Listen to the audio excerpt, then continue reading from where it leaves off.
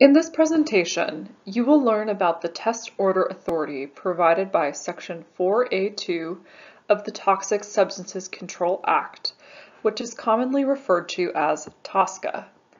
This presentation will focus on information a recipient of such an order will need to know, in accordance with the agenda found on the following slide. We will first discuss the test order authority under TSCA and the issuance of such orders. Next, we will provide an overview of the issuance of orders and then walk through the different options available in responding to an order. Then we will discuss the role of building consortia. Finally, we will discuss the fee associated with orders.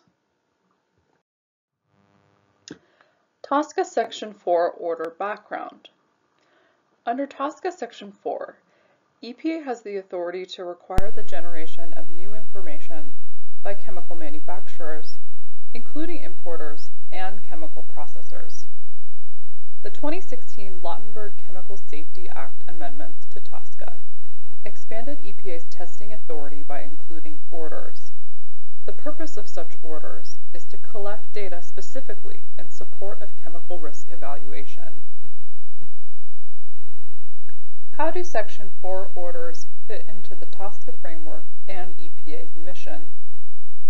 Under TSCA Section 6b, EPA is required to adhere to timelines and conduct risk evaluations to determine whether or not chemical substances present an unreasonable risk to human health or the environment.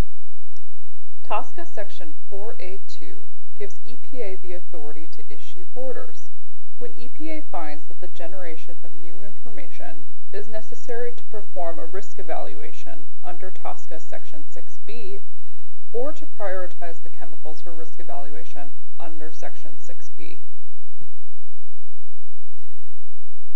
How EPA identifies the manufacturers and processors subject to orders. There is no required method for EPA to use when identifying manufacturers or processors for a given chemical. For manufacturers, as an example, EPA can identify manufacturers of a chemical by using the final list of manufacturers for the Fees for Administration of Toxic Substances Control Act rule.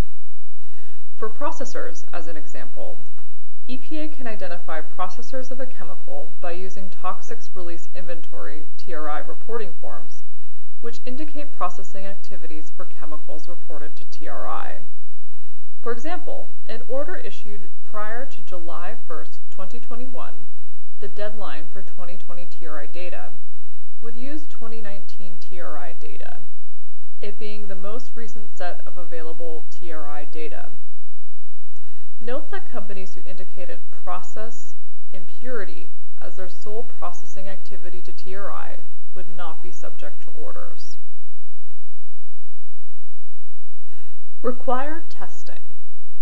Section 4 orders will require manufacturers and processors of the subject chemicals to develop or submit information.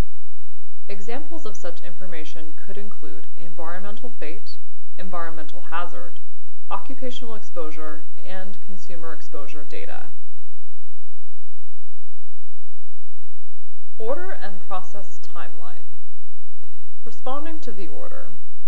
Within 45 calendar days of the effective date of an order, the recipient is required to inform the EPA via EPA CDX portal of which compliance option the recipient has chosen. The options are Option 1, develop the information, Option 2, submit existing information. Option 3, request an exemption and provide rationale. Option 4, claim that your company is not subject to the order. Option 5, cease the manufacture or processing of the chemical. Option 1, develop the information. The order recipient must submit an initial response to develop the information, and indicate whether they have joined a consortium for a specific test or tests. The first required step in the process of developing the required information will be to submit an initial study plan for each test. EPA requires a recipient to submit an initial study plan for each test for EPA's review. The study plan will detail how the recipient will execute the required test or tests in accordance with the standardized testing guidelines provided by EPA in the order. Following EPA's feedback on the submitted study plan, the recipient must submit a final study plan that addresses EPA's feedback for each test subject to the order. Deadlines for submitting the initial and final study reports to EPA for each required test will vary depending on the test protocol and will be stated in the orders. For option 2, to submit existing information, you must submit an initial response and indicate whether the submittal will be part of a consortium, submit an existing study and or other relevant information that you believe EPA has not considered. Supporting rationale as to why the data being submitted should be used in place of de novo testing. For example, if a recipient is submitting existing information on an analogous chemical in lieu of the subject chemical, the recipient must provide a robust rationale that explains how the submitted data is sufficiently similar and appropriate for use in risk evaluation in lieu of the ordered tests on the subject chemical. In submitting existing information, EPA encourages the use of standardized formats, such as the OECD harmonized templates. Additionally, note that in addition to such templates, EPA requires that full study reports also be submitted. EPA will review the submission of existing information based on the weight of the scientific evidence using all relevant information reasonably available to the agency. If submitted information is deemed acceptable, EPA will repeal all obligations of the order that the submitted study and or relevant information fulfills. If EPA determines that the submitted information is not acceptable, another response option must be selected. The agency will notify the recipient of this decision via CDX.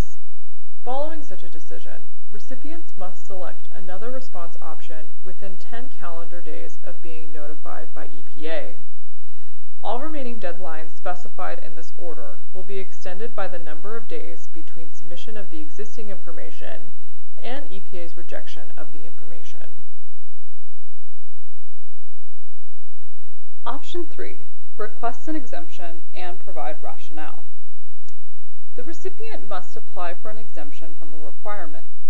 An application for an exemption must provide information and a rationale to support a conclusion that the submitted data is equivalent, or that equivalent data is being developed in accordance with a prior or currently active rule order, or consent agreement.